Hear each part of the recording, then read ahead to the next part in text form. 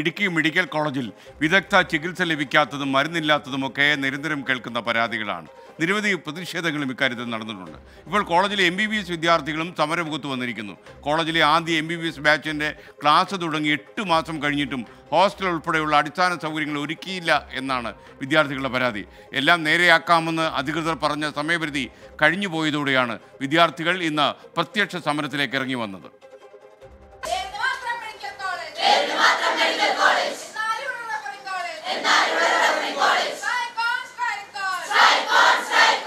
രണ്ടായിരത്തി ഇരുപത്തിരണ്ട് നവംബർ പതിനഞ്ചിന് എം ബി ബി എസ് ബാച്ചിന്റെ ആദ്യ ക്ലാസ് ഇടുക്കി മെഡിക്കൽ കോളേജിൽ തുടങ്ങുമ്പോൾ വലിയ പ്രതീക്ഷയായിരുന്നു വിദ്യാർത്ഥികൾക്കും അതുപോലെ നാട്ടുകാർക്കും. എന്നാൽ ഇപ്പോഴത്തെ പ്രശ്നം കോളേജിന്റെ പ്രവർത്തനം എവിടെ തുടങ്ങിയോ അവിടെ തന്നെ നിൽക്കുന്നു ഇപ്പോഴും എന്നുള്ളതാണ്. അടിസ്ഥാന സൗകര്യങ്ങൾ പോലും ഒരുക്കാൻ അധികൃതർ തയ്യാറായിട്ടില്ലെന്നാണ് പരാതി. പ്രതീക്ഷകളൊക്കെ തകർക്കുന്ന രീതിയിലാണ് ഇടുക്കി മെഡിക്കൽ കോളേജിന്റെ ഇപ്പോഴത്തെ പ്രവർത്തനം. ആദ്യ ബാച്ചിന്റെ ക്ലാസ് തുടങ്ങി മാസങ്ങൾ കഴിഞ്ഞിട്ടും ലൈബ്രറി ലെക്ചർ ഹാൾ തുടങ്ങിയ അടിസ്ഥാന സൗകര്യങ്ങൾ ഒന്നും ഏർപ്പെടുത്തിയില്ലെന്നാണ് വിദ്യാർത്ഥികളുടെ പരാതി. ക്യാമ്പസിന് പുറത്തുള്ള വർക്കിംഗ് വിമൻസ് ഹോസ്റ്റലിലാണ് പെൺകുട്ടികൾ താമസിക്കുന്നത്. ആൺകുട്ടികൾ പൈനാവിലുള്ള ഹോസ്റ്റലിലും. ഞങ്ങളിപ്പം ഹോസ്റ്റലിന് വേണ്ടിയാണ് ഈ സമരം ചെയ്യാൻ ആരംഭിച്ചിരിക്കുന്നത്. പക്ഷേ ഹോസ്റ്റലിന്റെ കാര്യം മാത്രമല്ല നമ്മുടെ മെയിൻ ആയിട്ടുള്ള കൺസേൺ എന്ന് പറയുന്നത്. എക്സാമിനേഷൻ ഹാളോ ലെക്ചർ ഹാളോ ഒന്നും തന്നെ ഇവിടെ ഇല്ല. നമുക്ക് ആവശ്യമായിട്ടുള്ള സ്റ്റാഫുകളോ മതിയായ ഒന്നും സൗകര്യങ്ങളും നമുക്കിവിടെ ചെയ്തു തന്നിട്ടില്ല. എല്ലാം ഉടനെ നേരെയാക്കാമെന്ന് പറഞ്ഞ് സമയപരിധിയൊക്കെ പലതവണ കഴിഞ്ഞു. ഇതോടെയാണ് ഇന്ന് വിദ്യാർത്ഥികൾ പ്രത്യക്ഷ സമരം നടത്തിയത്. പഠിപ്പ് മുടക്കി ഓഫീസിന് മുമ്പിൽ കുത്തിയിരുന്നായിരുന്നു പ്രതിഷേധം. ഒരു മാസത്തിനുള്ളിൽ ബോയ്സ് ഹോസ്റ്റലും ആറ് മാസത്തിനുള്ളിൽ ഗേൾസ് ഹോസ്റ്റലും. ടൈം പറഞ്ഞതാണ്. പക്ഷെ ഇപ്പോൾ അറിയാം എട്ട് മാസമായി ഇതുവരെ ഒന്നും കിട്ടിയിട്ടില്ല. ഇത്രയും കാലം ഗേൾസ് നിന്നത് ഒരു പ്രൈവറ്റ് ഹോസ്റ്റലാണ് നാല് പേർക്ക് ആറ് പേർക്ക് നിൽക്കാൻ പറ്റുന്ന മുറിയിൽ എട്ട് പേരാണ് അവർ താമസിച്ചത്.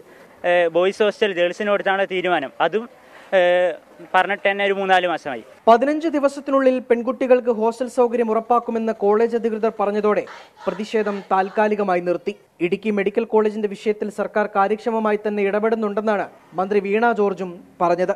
ഇടുക്കി മെഡിക്കൽ കോളേജിൽ അവിടെ നിർമ്മാണ പ്രവർത്തനങ്ങൾ നടക്കുന്നുണ്ട്. അപ്പോൾ ഹോസ്റ്റലിന്റെ നിർമ്മാണം ഏതാണ്ട് പൂർത്തിയായിട്ടുണ്ട്. ഇവിടെ കുഞ്ഞ് കുട്ടികൾക്ക് ഇവിടെ തന്നെ അവസരം ലഭിക്കണം എന്നുള്ളതാണ്. അതുകൊണ്ട് പരമാവധി സൗകര്യങ്ങൾ ഇവിടെ ഒരുക്കുന്നതിന് വേണ്ടിയിട്ടാണ് ശ്രമിച്ചിട്ടുള്ളത്.